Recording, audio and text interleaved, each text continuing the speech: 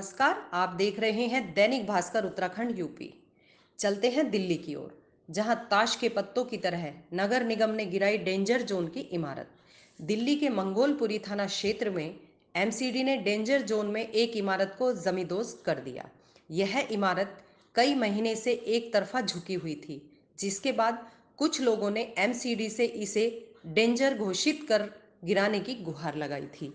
पीड़ितों का आरोप है कि एमसीडी ने लोगों को इतना भी समय नहीं दिया कि वे अपना सामान इस इमारत से निकाल सके। उनका आरोप है कि बिल्डर और एमसीडी के अधिकारियों की मिलीभगत से यह इमारत आनंद फानन में गिराई गई है।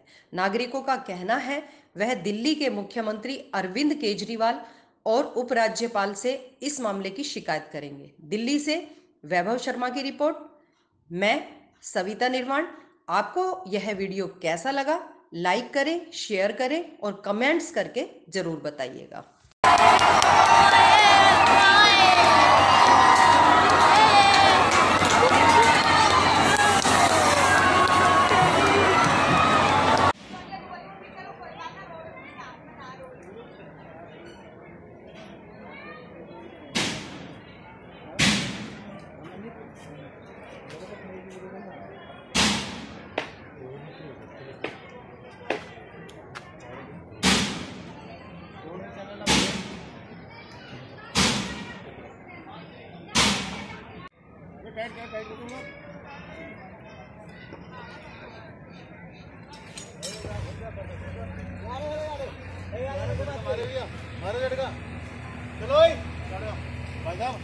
और मेरा आदमी जेल में बंद है और मैं कितने एक हफ़्ते से घर से बाहर बैठी हुई हूँ मेरा कुछ भी नहीं है मैं रोड पे हूँ नहीं मैंने खाना खाया है नहीं कुछ भी।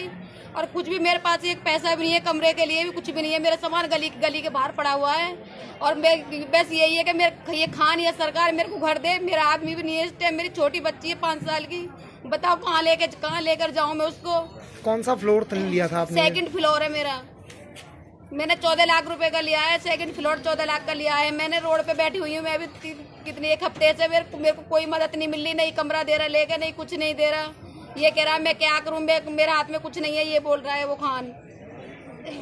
मेरी एक छोटी बच्ची है, पाँच साल की, मैं कहाँ जाऊँ? मैं बहुत वो मेरे रोड पे सामान पड़ा हुआ है, मेरा मैं घर से बेघर हूँ, मेरा घर चाहिए मुझे रहने के लिए।